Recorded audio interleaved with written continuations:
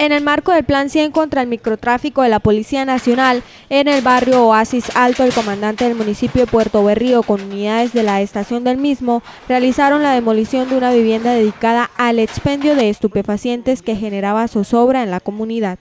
En esta oportunidad, en coordinación con la Administración Municipal, la Inspección de Policía, logramos ejecutar el proceso de demolición en esta vivienda ubicada en el barrio Oasis, sector Parte Alta.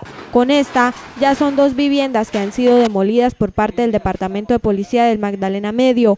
Estas actividades se hacen de manera simultánea en diferentes zonas del país. Que es un ejercicio simultáneo a nivel nacional, como refería hace un momento, eh, es un programa liderado por el gobierno nacional y pues ciudades como Chocó, entre otras, que están realizando el mismo ejercicio. Y nuestra intención principal es afectar estos puntos que pues generan inconvenientes a la convivencia. En esta oportunidad, la vivienda demolida en el municipio de Puerto Berrío fue referenciada ya que era un factor de riesgo para esta comunidad.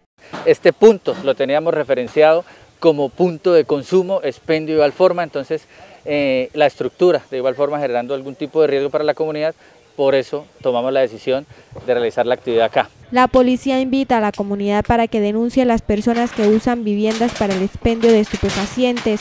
Las autoridades decidieron realizar esta actividad para recuperar los predios y mejorar los índices de inseguridad. Este inmueble era ocupado por secuaces de alias Peluche, quien manejaba las rentas criminales del microtráfico en la zona.